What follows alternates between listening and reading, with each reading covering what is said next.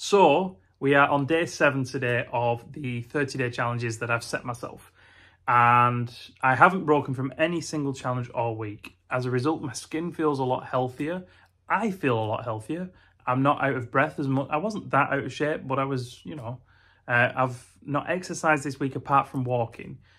Um, I'm going to be playing football next week. Uh, I normally play once a week for an hour.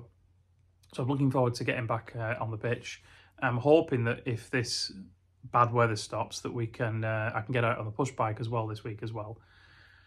But I just thought I'd share with you guys um, a few different things. So one of the things is thank you so much for everyone who's held me accountable by commenting, liking, sharing, reaching out with a DM, whatever it is that you've done to speak to me about me on uh, about this journey that I'm on.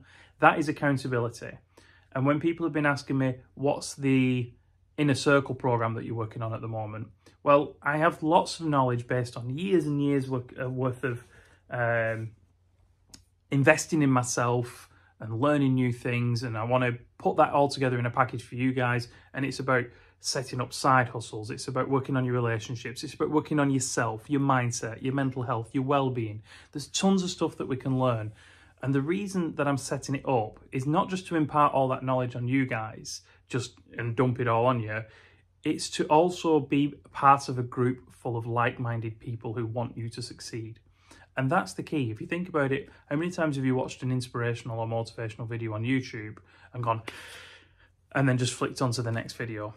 and just forgotten about it. And what stops you from actually taking action? Well, for me, I believe that what stops us taking action is not being accountable in part of a group of like-minded peers. And that is what I'm working on at the moment. Not just imparting my knowledge, but creating a group of people who want each other to, to succeed, who can hold each other accountable, and we can learn and grow together. So that's what I'm working on and I'm really, really excited about it. So I hope you guys are too.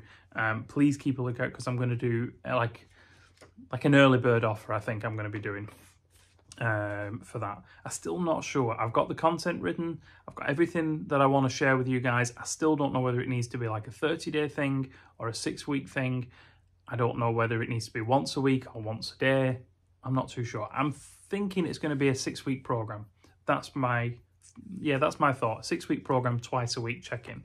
Anyway, I thought I'd also share with you guys some of the stuff that I have um, eaten this week.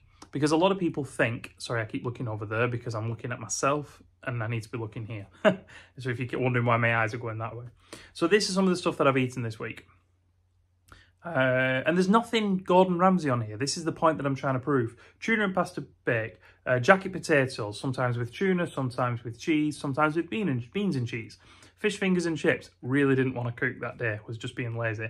Scrambled eggs, boiled eggs, um, salads, tomato soups, vegetable soups, minestrone soups, honey on toast, um, beans on toast. Oh, I've already said that. Um, I only had cereal twice this week.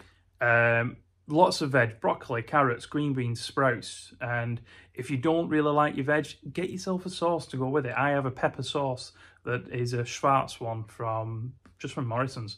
Um, apples and bananas, I've had one uh, one a day, one banana a day, one apple a day. In fact, one day I had two bananas and two apples because that was the day I was very hungry. Um, and lots of roasted nuts. Those have been my little treats to myself in between.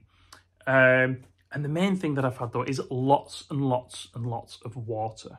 So thank you so much for jo joining me so far. We're in, so that is the end of week one. Um, week two, hopefully will be some more exercise involved. Uh, the main thing that I'm waiting for as I'm looking out the window now and watching Storm Catherine is some nicer weather to get out into um, and do some exercising. So because it's it's uh, it's just miserable at the moment. anyway, thank you so much for listening. Thank you so much for watching. I look forward to sharing week two with you soon. Take care, everyone.